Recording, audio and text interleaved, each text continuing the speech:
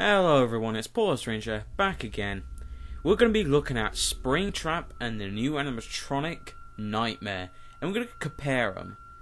Now, I'm not the only one that believes that Springtrap and Nightmare are the same models. And some of it's from Dawko and another YouTuber, so let's do our own little investigation, shall we?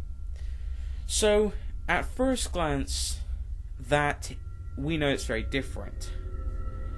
First off, those Freddy animatronics, those mini Freddys coming out of the suit, that's very scary.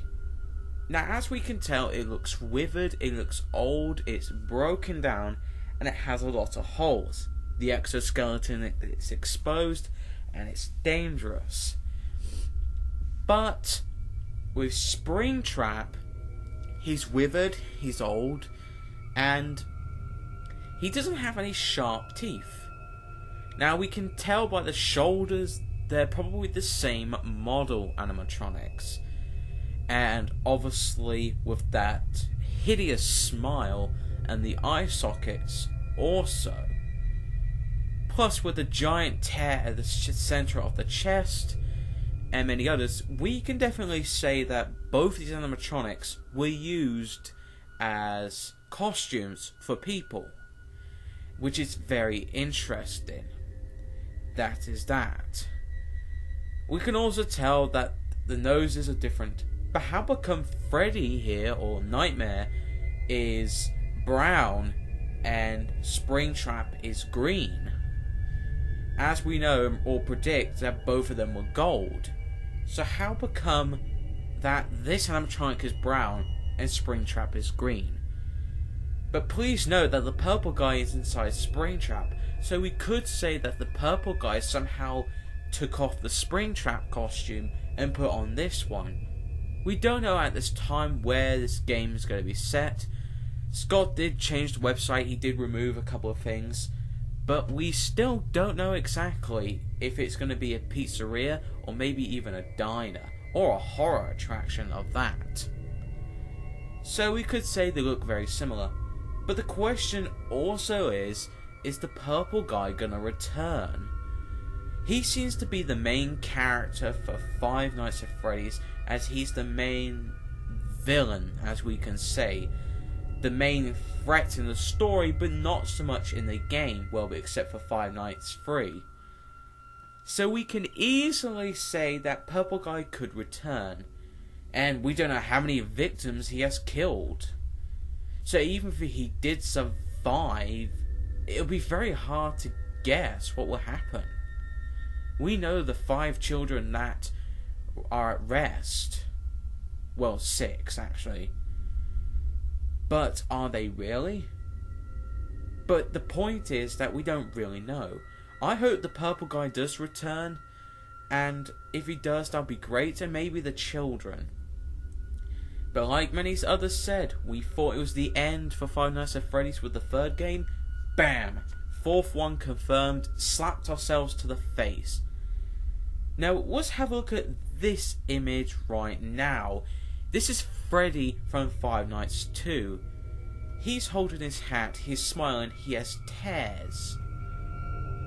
Now, that's good or all, but if you look at the other image of Freddy, it's doing the same thing. Now we know this Freddy has three fingers and a thumb, and he's holding his hat. Grand reopening. But this Freddy has five, well, four fingers and a thumb. I know I did say it was three, but actually, if you look very, very carefully, you will see the fourth finger. So, yeah. But these two pictures look identical a bit, but one's made for pe- for a person and one's made for exoskeletons. Which still begs the question.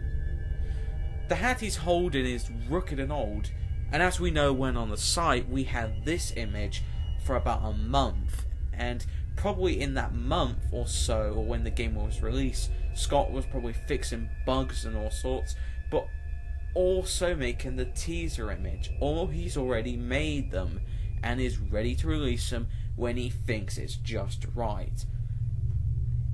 I think he was he timed it right with the hat disappearing because the only thing different with that image is it's here now. It's just the hat is not there. Now, as many things go, Scott is very clever with his teaser images. He's good at hiding messages. He did one with Springtrap's na- name, say with "My name is Springtrap." He's done well with Purple Guy. He's done well of the shadow characters, the murders, the marionette. There's so many characters that were unannounced. The marionette was one. We did not know what it was until the teaser images. We don't know what this animatronic is until we get a trailer. But we didn't even knew Springtrap existed. Scott is very clever, and I think that the kids might return. Purple Guy might return.